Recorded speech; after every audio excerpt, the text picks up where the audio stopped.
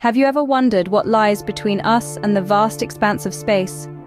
It's not just a void, it's our Earth's atmosphere, a complex, layered structure that shields us from the harshness of space and maintains the conditions we need to survive.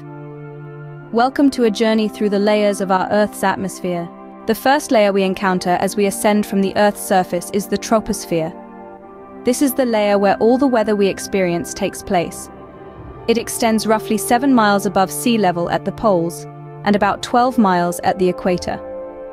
The troposphere holds approximately 80% of the total mass of the atmosphere. Above the troposphere, we find the stratosphere, extending up to about 31 miles above the Earth's surface. Here, we find the ozone layer, which absorbs and scatters the solar ultraviolet radiation. The temperature in the stratosphere increases with height, opposite to what we see in the troposphere. Next up, we reach the mesosphere, which extends around 53 miles above the Earth. This is the layer where most meteors burn up when entering the Earth's atmosphere.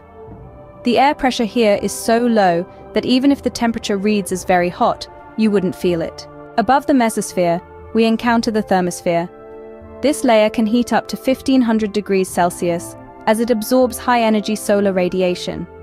However, an individual wouldn't feel this heat due to the low density of air. The International Space Station orbits Earth within this layer. Finally, we reach the exosphere. This is the outermost layer of our atmosphere. It starts around 600 miles above the Earth and extends into space. Here, atoms and molecules escape into space and satellite orbits the Earth. So there you have it.